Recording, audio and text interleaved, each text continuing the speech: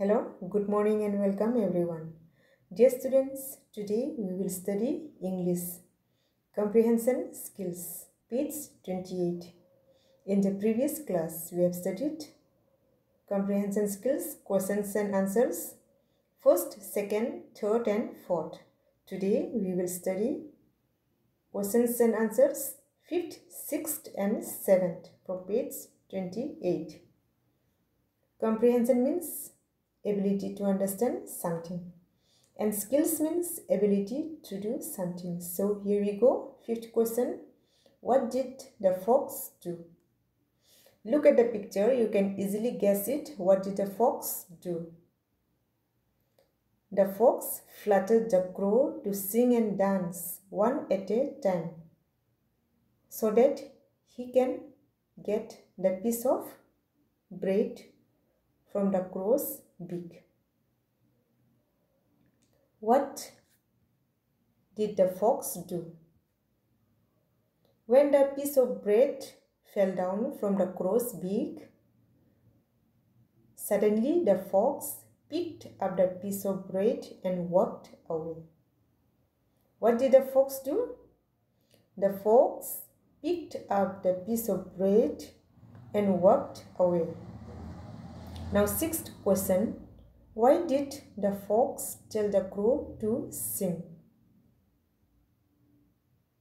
Why did the fox tell the crow to sing? Look at the picture. Actually, the fox was very hungry and he was wandering for food. Suddenly, he saw a crow sitting on a branch of a tree with a piece of bread in its big. The fox thought of a plan, and the plan was to flutter the crow in order to get the piece of bread.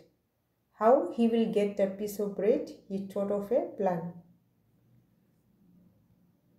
The fox fluttered the crow to sing and dance one at a time so that the piece of bread will fall down and he will get the piece of bread.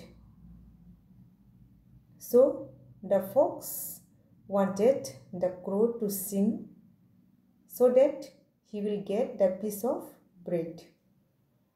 Why did the fox tell the crow to sing? The fox told the crow to sing because he wanted the piece of bread. Why did the fox tell the crow to sing? The fox told the crow to sing because he wanted the piece of bread. Seventh question Was the crow foolish or clever? Can you guess? Was the crow foolish or clever? First, the crow sang, but the bread didn't fall down. Secondly, the crow sang and danced one at a time, and suddenly the piece of bread fell down. Actually, the crow is foolish the crow was flattered by the fox. Was the crow foolish or clever? The crow was foolish.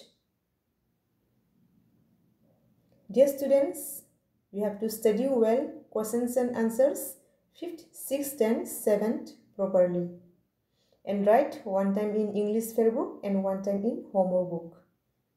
You have to write in good handwriting. That's all for today. Thank you. Have a nice day.